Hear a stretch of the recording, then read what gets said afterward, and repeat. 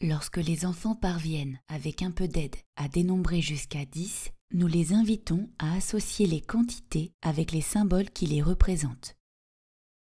À ce stade, la capacité à dénombrer jusqu'à 10 et la capacité à reconnaître les symboles de 1 à 9 ne sont pas encore solidement acquises. C'est grâce à l'utilisation de cette activité, seule ou à deux, que ces compétences s'ancreront. Pour commencer, nous invitons l'enfant à associer quantité et symbole dans l'ordre de la comptine numérique.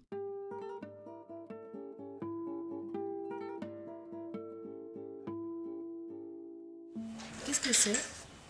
Dieu.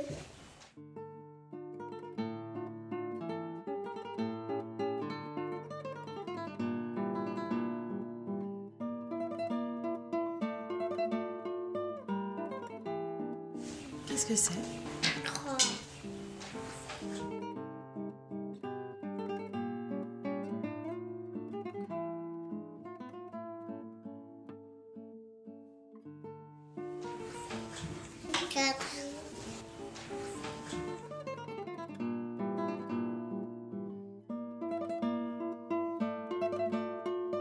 Afin d'aider l'enfant à dénombrer, nous pouvons séparer les barres de quelques centimètres.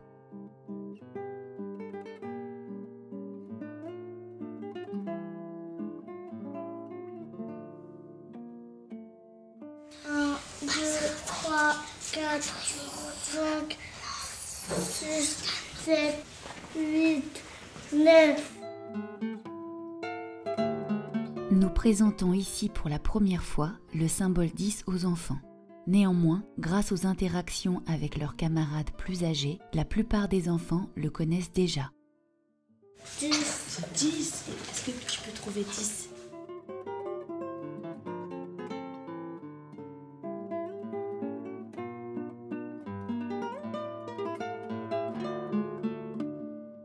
Nous invitons ensuite l'enfant à lire la suite des symboles dans un sens, puis dans l'autre.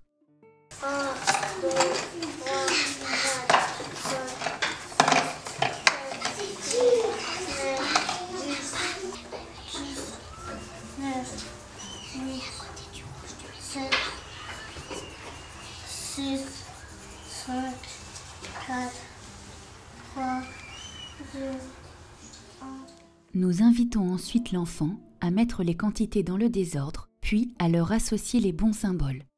Qu'est-ce que c'est ici? Deux, Est-ce que tu peux chercher 2 un, deux,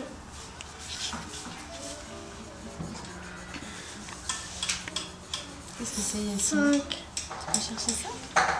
Un, deux, trois, quatre, cinq. Nous encourageons les enfants à réaliser cette activité de nombreuses fois, seuls ou avec un camarade. Les enfants peuvent également réaliser cette association symbole et quantité à distance. Ils utilisent alors deux tapis, un tapis pour disposer les quantités, un autre pour réaliser l'association avec les symboles.